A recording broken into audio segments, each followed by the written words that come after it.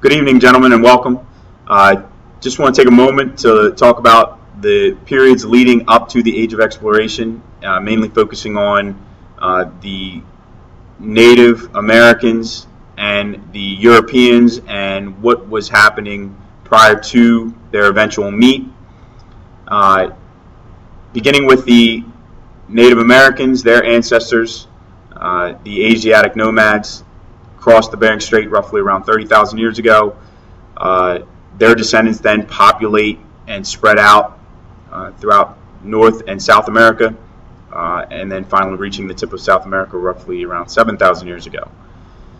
Uh, from there, they, their descendants then establish uh, very unique cultures. Uh, many uh, complex cultures establishing within uh, Central and South America. Uh, Central America, you have the Olmecs, Aztecs, Mayan. Uh, in South America, you have the Incans.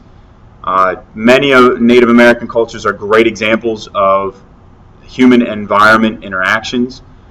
Uh, in Central and South America, the, it's theorized that their complexity was due to uh, their climate and their ability to grow more food, which then allowed for large populations, which allowed for that uh, complex system of governments and complex cultures to, to then flourish.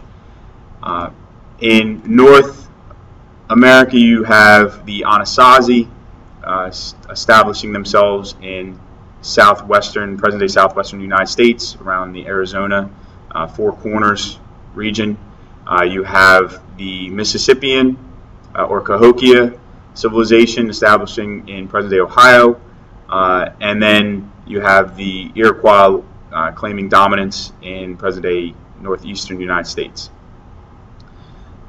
With Europe during this time, beginning with the fall of Western Rome, Europe was thrown into a, a, period of uncertainty and a very volatile time. You had the establishment of uh, the feudal states.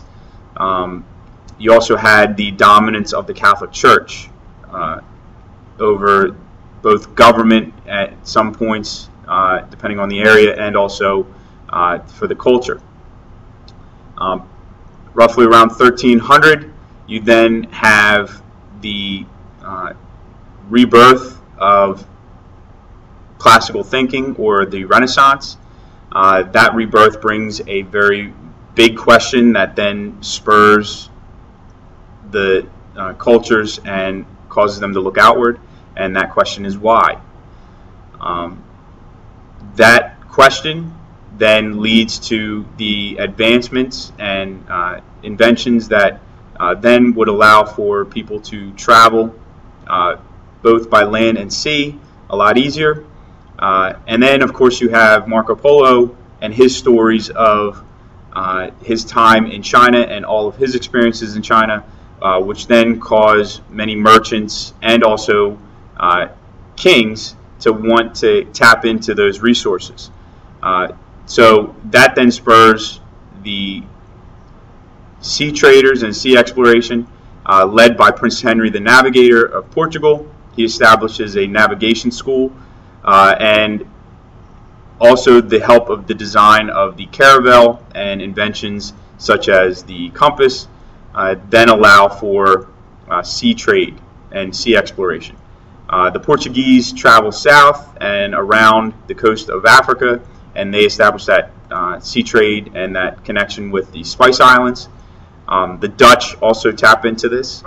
Uh, but the Spanish, led by Christopher Columbus, uh, then looked for that sea uh, that sea uh, route to Asia, um, looking westward. Uh, that then leads to the establishment of uh, and settle or the establishment of the Age of Exploration in the Americas. There are also possible discoverers before Columbus. Uh, putting up this list again. Uh, of these possible discoverers, only three are correct. Uh, you have to find out which three, and I'll talk to you tomorrow.